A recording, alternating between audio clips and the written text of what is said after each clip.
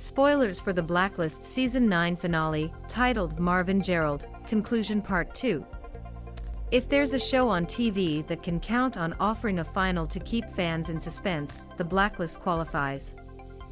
The Season 9 finale has some big stories to play out in under an hour, whether Cooper will go to jail, whether Red will find Marvin before the crew, or even whether Parker's headaches will keep her out of the field, just to name a few. Example as it turns out, this episode addresses those stories while setting up some new high-stakes stories for Season 10, and saying goodbye to two key characters.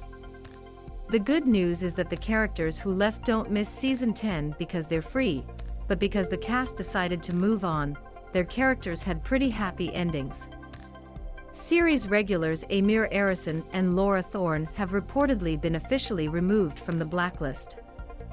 Their departure comes a season after longtime heroine Megan Boone left the show. Thankfully, both characters had less permanent endings in the season 9 finale than Liz gave her in the season 8 finale.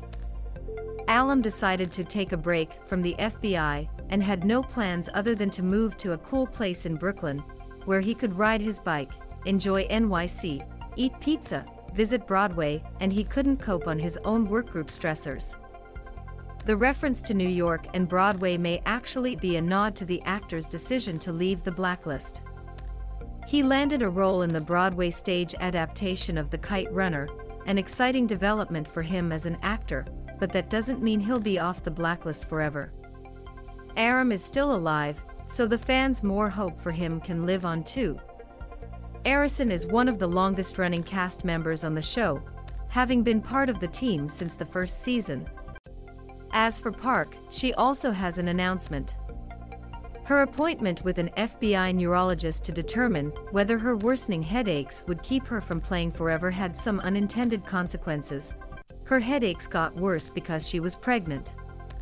After a miscarriage due to an attack early in season 9, the news of her pregnancy, apparently delighted by it, is a great way to end Park's story.